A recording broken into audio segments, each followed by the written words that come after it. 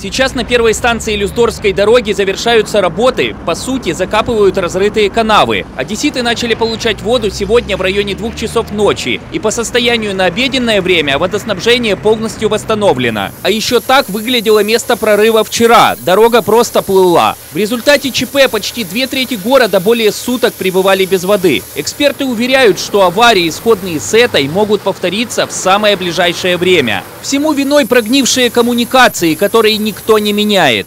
Господь Бог еще хорошо помог, что рвануло, когда плюсовая температура. Иначе было бы очень неприятно. Поэтому э, департаменту городского хозяйства вместе с Инфокс водоканалом стоит задуматься о контроле за состоянием сетей, особенно магистральных. Им там в лучшем случае лет 60.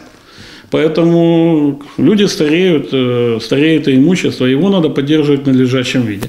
Это такой нехороший звонок, стоит задуматься о том, что нам в городе, о чем мы говорим, вот мы пытаемся последнее время вот э, плиточку заменить, фасад подкрасить, еще что-то сделать, а на серьезные объекты, именно э, по которым питается весь город, мы не обращаем внимания. А вот кто должен следить за состоянием сетей – вопрос сложный. Водоснабжением занимается компания Infox Водоканал, но коммуникации находятся лишь в аренде, хоть и на целых 49 лет. Де юре они остаются в собственности города. В начале 2000-х бывший вице-мэр Владимир Максимович предлагал создать совместное предприятие между городом и частником, которое бы и занималось контролем состояния сетей и их ремонтом. Но идея так и не была реализована. Теперь же чиновникам мэрии и представителям Инфокса необходимо договариваться о совместном обслуживании коммуникаций, считает экономист. В каких пропорциях – вопрос возможных компромиссов сам Инфокс водоканал не сможет это быстро сделать, потому что в тарифах не заложена инвестиционная составляющая, а это нужно, наверное, миллионов пятьсот. Да? Откуда они сейчас вынут их? Их нету.